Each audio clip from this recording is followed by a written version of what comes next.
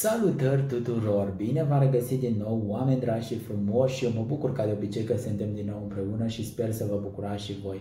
Astăzi, dragilor, noi ne reîntâlnim, ne revedem așa cum o facem săptămânal cu multă voieșie, bucurie, cu mult entuziasm, doar aici și acum pe acest canal de YouTube și vă mulțumesc că sunteți alături de mine, că mă urmăriți pentru toate mesajele, pentru toată susținerea voastră, pentru tot suportul oferit și vă îmbrățișez pe fiecare cu mult drag și vă iubesc și să vedem împreună ce ni s-ar transmite pentru intervalul de timp 17-23 februarie, ce ar vrea să ne comunice Universul, ființele de lumină ca noi să știm, ca niște predicții pentru săptămâna următoare. Și în această săptămână vom lucra cu două seturi de carduri noi, le-am achiziționat de curând, tocmai ieri au sosit, nu prea am avut timp așa să le răsfoiesc, să le analizez în profunzime, dar uh, eu am făcut consacrarea și am extras mesajele, le-am purificat înainte aceste carduri pentru că este necesar când uh, cumperi seturi de carduri noi să le purifici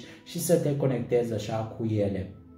Și eu am făcut uh, uh toate aceste proceduri mai înainte, uh, nu m-am uitat la mesaje, sunt și eu curios să vedem ce ni s-a transmis pentru că sunt carduri noi, energii noi.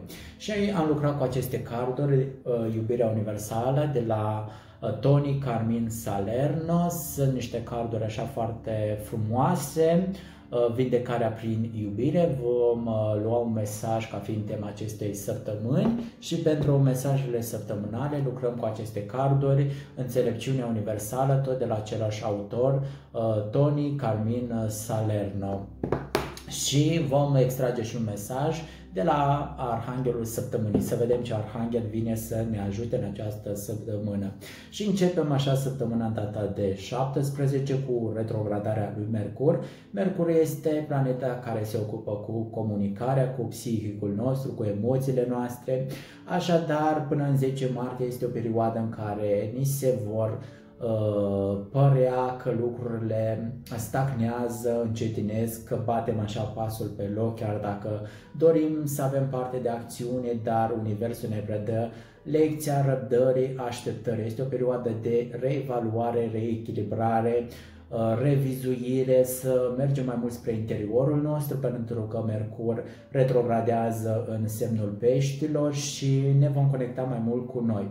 În data de 19 februarie vom schimba și vibrația, soarele va intra sub semnul zodiacal al peștilor. Peștii sunt o zodie feminină de apă, sunt guvernați de planeta Neptun, așadar se vor amplifica pentru fiecare dintre noi uh, foarte mult uh, aceste simțuri, să spunem, extra simțuri, capacități extra senzoriale, ne vom conecta foarte mult cu lumile subtile, cum am spus că sunt un semn de apă.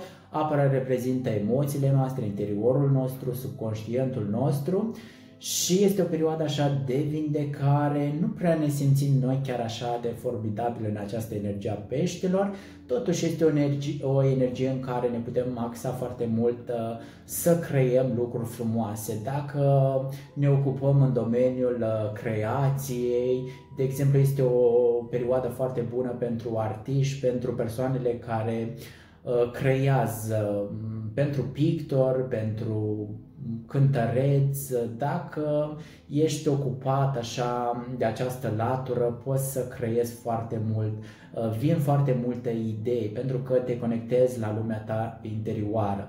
În data de 23, duminică, Uh, închidem o etapă și se deschide o altă etapă pentru că avem uh, lună nouă în semnul peștilor și se deschide un culoar energetic uh, pentru noi începuturi. Este o perioadă în care putem planta din nou semințe, este o perioadă în care noi Uh, suntem deschiși, receptivi, acumulăm noi informații și în această zi putem să facem ritualuri dacă dorim măcar să aprindem și o lumânare cu intenția noastră, cu dorința noastră și să o trimitem în univers, gândul nostru, uh, ceea ce simțim noi, gândul nostru care vine din inima noastră, dorința inimii noastre, să o trimitem cu multă iubire, fără frică, fără teamă că nu se va îndeplini. Și apoi să o lăsăm să se să lucreze, să nu ne mai gândim la ea, să ne detașăm, pentru că dacă stăm conectați la acel gând, nu vom lăsa ca Universul să lucreze sau Dumnezeu, cum vreți voi să îi spuneți. Ai trimis gândul tău cu toată încrederea că se va manifesta la timpul potrivit în realitatea ta cu ceea ce îți dorești tu. Totul se va manifesta atunci când trebuie și dacă dorința este trimisă din uh, sufletul tău, ca fiind dorința inimii tale, să nu fie o dorință din ego sau că ai văzut la cineva și vrei și tu acel ceva, um, o dorință, așa mă refer, să fie prin comparație, este bine să faci Uh, ceea ce simți tu, ceea ce vine din interiorul tău. Și este bine să nu ne comparăm așa în general cu nimeni. Tu ești unic și fiecare dintre noi este unic și fiecare dintre noi am venit să experimentăm lecții diferite, fiecare dintre noi avem drumuri diferite. Și uh, de aceea este bine să nu urmăm așa turma. Fiecare este bine să se observe în această perioadă pentru că Uh, universul asta dorește de la noi, să ne observăm, să recorectăm ceea ce nu funcționează, este o perioadă de vindecare,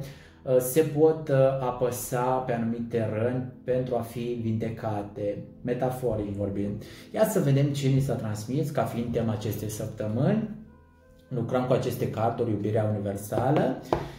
Și mesajul pentru noi, ia uitați ce mesaj interesant, Psychical Body, să ne conectăm la corpul nostru în această săptămână, să ascultăm mesajele corpului nostru, ceea ce vrea să ne transmită corpul nostru, să ne ascultăm emoțiile, senzațiile, reacțiile, poate avem unele dureri în corpul fizic și acele dureri, așa cum v-am spus și în săptămâna anterioară, nu sunt întâmplătoare. Uh, fiecare durere, fiecare emoție are un mesaj și este bine să-i dăm ascultare, doar așa poate fi vindecat și eliberat. Să ascultăm mesajele corpului nostru, să stăm în liniște și să vedem ceea ce simt, ce vrea să-mi transmită corpul meu.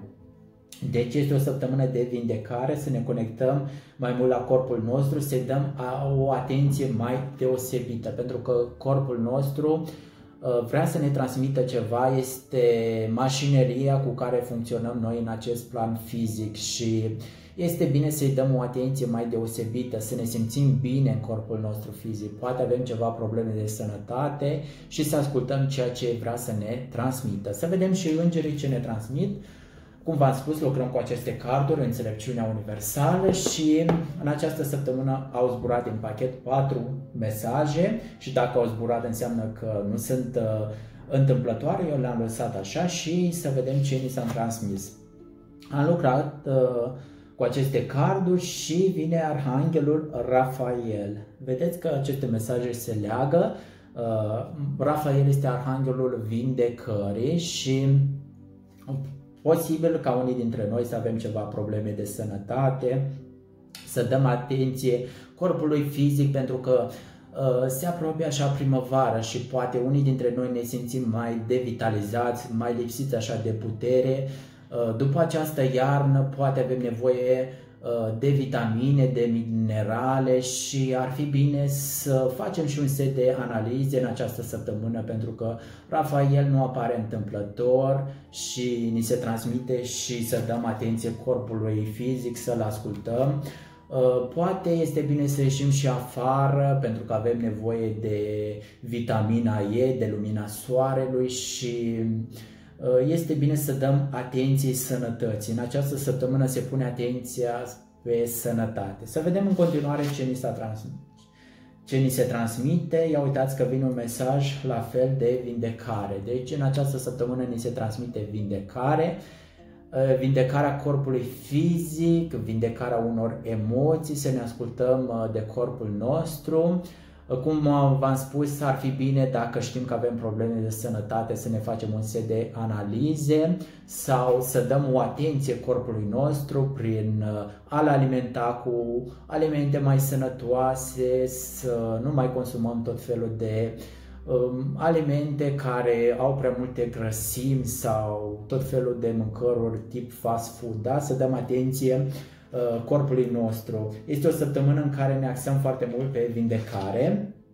și alt mesaj a apărut să ne odihnim mai mult poate ne simțim foarte devitalizați, lipsiți de energie, odihna ne ajută foarte mult să uh, ne regenerăm, să ne simțim uh, revitalizați. Uh, ceva la nivel energetic se întâmplă, se lucrează foarte mult pe corpurile noastre energetice pentru că apare Rafael, apare vindecare și odihnă. Noi în starea de odihnă ne vom vindeca, regenera, recăpătăm puterile noastre și uh, ne recăpătăm și acea um, echilibrare mentală, ne simțim altfel după un somn, parcă gândim mult mai limpede, nu ne mai simțim atât de agitați. Când ești foarte obosit, parcă nici nu poți să gândești limpede, nu poți să iei acele decizii sănătoase, uh, vezi toată lumea uh, gri și este bine să dăm o atenție somnului nostru. Deci, vindecare, Rafael, vedeți că toate aceste mesaje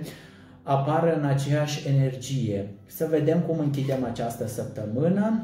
Ia uitați ce mesaj frumos a venit, nimic nu este întâmplător apare cartea intenții și cum am spus avem lună nouă în pești în data de 23. Este o zi în care putem să trimitem intențiile noastre uh, constructive către univers, dorințele noastre pentru a se materializa la timpul potrivit, cu multă încredere.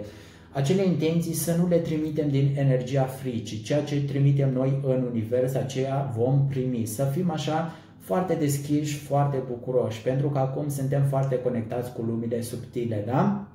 Deci în această săptămână ceva răni posibil, emoționale, ceva iese la suprafață, se descopere ceva, uh, se apasă pe unele butoane, pe unele răni pentru a fi observate, vindecate, ceva nu se mai suportă uh, Uh, nu mai suportă amânare. Ceva trebuie făcut în această săptămână pentru că apare Rafael și vindecare și mai mult o odihnă, da? Și mesajul de final să trimitem intenții. Să vedem care ar fi și Arhanghelul săptămânii. Ia să vedem cine vine să ne mai susțină. Dragi Arhanghel din Lumina Divină, vă rog, ghidați-mă, inspirați-mă și trimiteți-ne nouă celor care vom vedea acest video, acel mesaj cu acel Arhanghel. Ia să vedem ce Arhanghel vine. Și vine tot Rafael. Rafael lucrează foarte mult în această săptămână cu noi. Empatie. Deci în această săptămână foarte multe uh, persoane vor începe în jurul nostru să se victimizeze. Deci este o săptămână puțin mai greuță, să spunem așa. Uh, multe persoane se vor simți copleșite, nu prea se vor simți așa foarte bine și este bine să uh, le înțelegem, avem compasiune, dar să nu intrăm așa prea mult în energiile lor. Uh, o săptămână în care foarte multe persoane se vor victimiza și atunci când uh, acele persoane se victimizează și îți povestesc despre supărările, despre ceea ce experimentează ele, este posibil să preluăm acele energii joase și să ne încărcăm noi.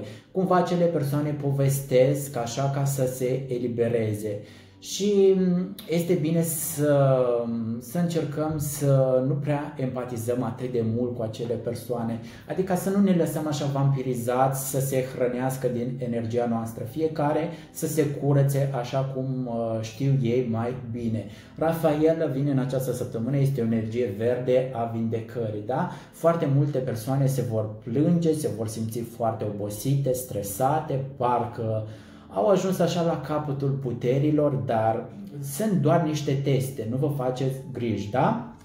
Cam acestea sunt energiile acestei săptămâni. Este o săptămână în care este bine să ne ascultăm de corpul nostru, ceea ce ne transmite, de emoții, senzații, Uh, să ne conectăm la sufletul nostru pentru că simțim tot felul de reacții în corp. Dacă vorbești cu corpul tău, îți va răspunde întotdeauna. Vei simți parcă niște reacții musculare, ascultă de pe ce parte vine. Partea dreaptă reprezintă masculin, nu? partea stângă uh, reprezintă energia feminină. Da? Vezi ce dezechilibru ai în corpul tău, da? în corpul tău fizic. Este o săptămână de vindecare pentru că apare Rafael, vine să ne vindecăm. Rafael vine să ne vindece pe toate planurile. Acum depinde de fiecare ce experimentați, pentru că eu mă conectez uh, prin această citire la subconștientul colectiv a celor care uh, vor vedea acest video, da? Și ni se transmite vindecare, uitați acest mesaj, să dăm atenție somnului, odihnei, poate nu prea ne odihnim, uh, jobul, munca ne stresează. Acum energiile sunt așa uh, schimbătoare. Trecem de la energia de aer în această săptămână la apă și apa ne interiorizează. Vom merge către interiorul nostru, către uh, emoțiile noastre. Ies ceva la suprafață și sunt, uh, este bine să le vindecăm, să nu le mai reprimăm. Și este bine să ne punem intenții, pentru că a ieșit această carte cu intenții. Și uh, în această săptămână empatizăm. Este bine să avem compasiune, dar să nu cădem în acea energie să avem milă, pentru că mila are o frecvență uh, joasă și având milă, empatizăm foarte mult cu diferite persoane, intrând în energia lor putem să preluăm și să ne simțim noi foarte rău, așa îi curățim pe alții.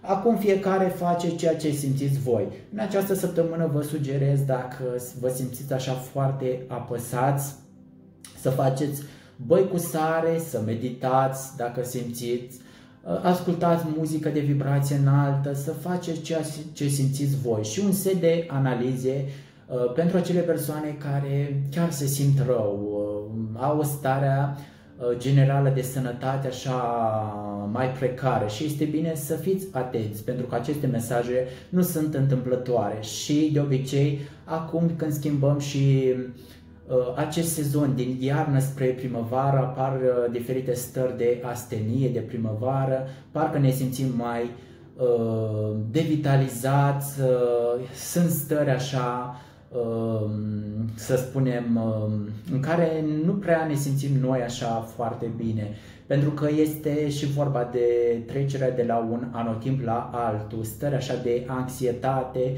nervozitate și este bine să ne odihnim. Odihna ne ajută foarte mult. Eu vă urez, dragilor, o săptămână ușoară să avem cu toții, o săptămână în care să dăm atenție corpului nostru fizic, să îl iubim mai mult, să îi dăm hrană de calitate și Uh, să ne vindecăm cu toții, să ne simțim foarte bine în corpul nostru fizic, uh, dându-i iubire, dându-i ce îi trebuie, uh, vom fi și noi împliniți și ne vom duce la capăt misiunea pentru care am venit noi pe această planetă. Vă iubesc, dragilor, și multă sănătate tuturor și să auzim vești numai de bine. Pe curând!